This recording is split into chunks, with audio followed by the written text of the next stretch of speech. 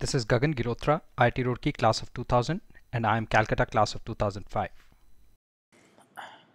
Now let's look at uh, boats in rivers. Now what happens if let's say there is a boat which can move uh, move in a still lake, right? So let's say this boat B can move in a still lake at the speed of SB. Okay, so this is a still lake.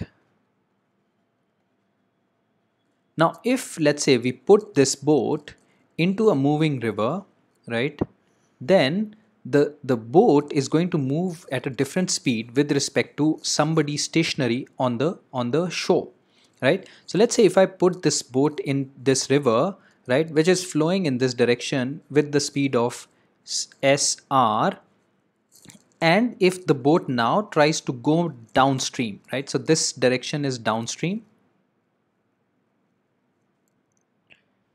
and this direction is upstream. So if this boat which can travel in still water, still water at a speed of SB, right, if it moves downstream, then to an observer on the shore, the speed of the boat is going to be SB plus SR, right, because the speed of the river, it gets added to the speed of the boat and the boat now actually moves faster than it would in still water. Right? So this is the speed of the uh, speed of the boat boat speed downstream. Right?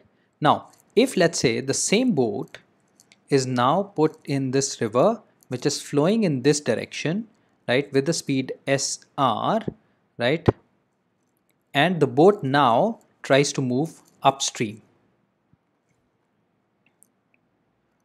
If the boat tries to move upstream at a speed SB in still water, then to an observer on the shore, the boat is going to go up very slowly because what is happening is that the that SB part of SB is being nullified by SR which is moving in the opposite direction. So the boat speed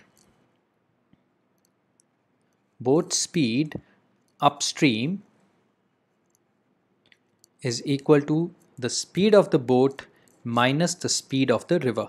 Now what happens is if let's say the speed of the river is greater than the speed of the boat then the boat actually moves downstream right because this, now the stream is going to be able to completely overpower the speed of the boat and nullify it right?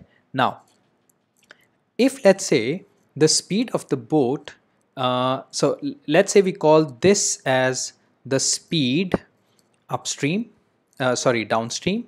And if we call this as the speed of the boat upstream then the relationship between the speed downstream and the speed upstream is if let's say we add the first and the second situations we get two times the speed of the boat right?